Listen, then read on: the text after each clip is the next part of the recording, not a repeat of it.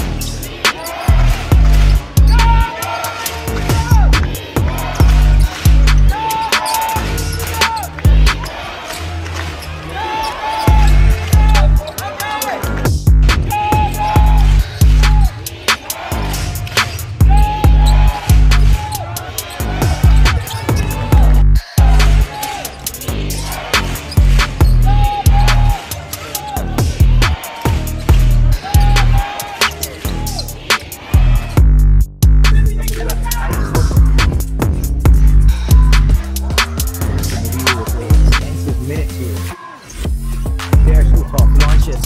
He'll come up short. Kai Sotto there with an offensive rebound. He got fouled. Down. Continuing there offensively. On a run, inside, faster in Kai Sotto. Ooh, Sotto's gonna pick up a foul. Sotto got a challenge. Turns around, pass. Flipped a little bit too strong, but O'Mara was there. Cheer with second personal foul.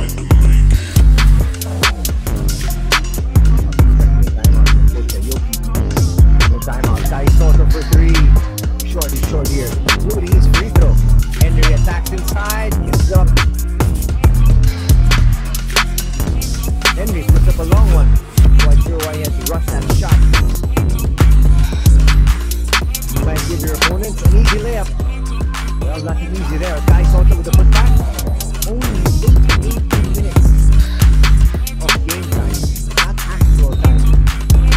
Foul's gonna be hmm. counted.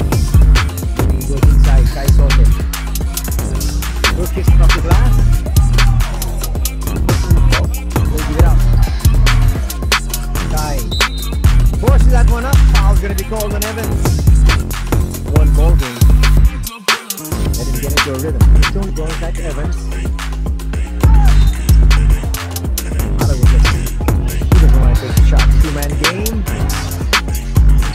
It up. He'll misfire. He'll get the rebound and he gets blocked there by Kai. We'll give it up to